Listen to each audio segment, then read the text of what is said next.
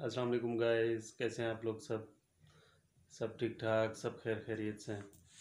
बहुत टाइम के बाद दोबारा वीडियो का आगाज़ करते हैं। तो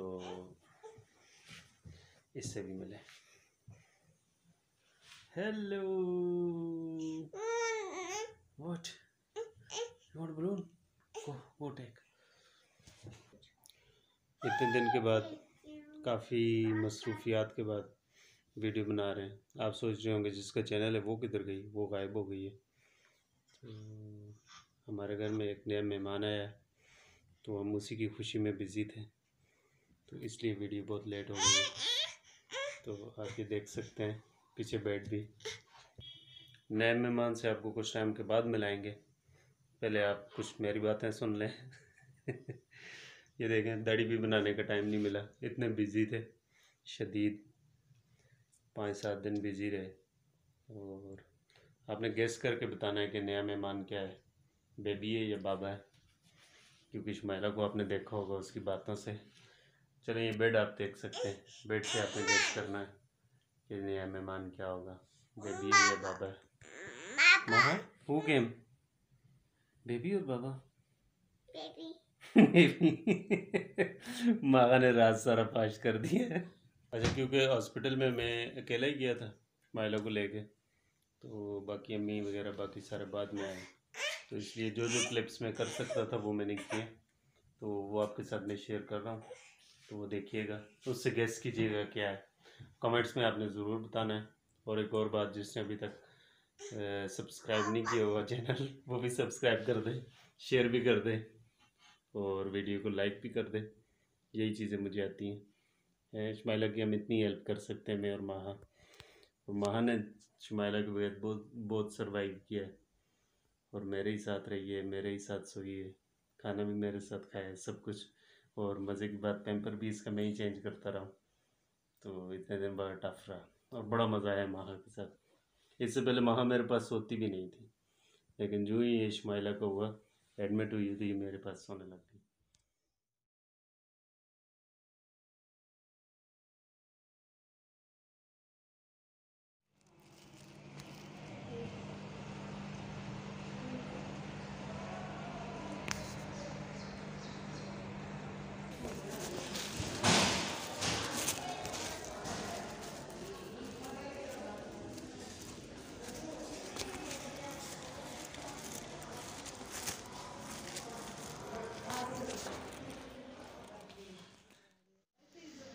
तुम्हारे इधर देखो।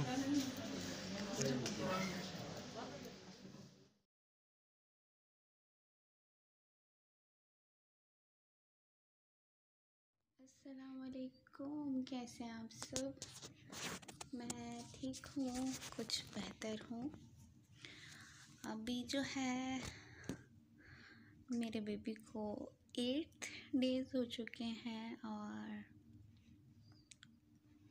मेरी तबीयत अभी तक सेटल नहीं हुई है। आप लोग मेरे लिए दुआ कीजिएगा कि मैं बिल्कुल ठीक हो जाऊँ और बेबी की निशानियाँ देखें। जो रैपिंग शीट है, वो मेरे बेड पे लटक रही है। मतलब बेबी आते ही घर का कबाड़ा हो चुका है। मेरे पूरे बेड पे मैस मैस मैस, सारी तरफ़ गंद फैला हुआ है।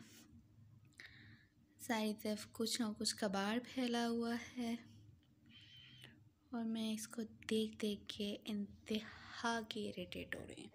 और आई थिंक कि मैं सेटल भी इसलिए नहीं हो पा रही कि मुझे गंदी बहुत ज़्यादा नज़र आ रहा है सारी तरफ़। तो दुआ कीजिएगा। और बहुत जल्द बेबी से भी मिलवाऊँगी आपको। अभी तो स्माइली हो रहा है। अभी बेबी मेरी गोद में है।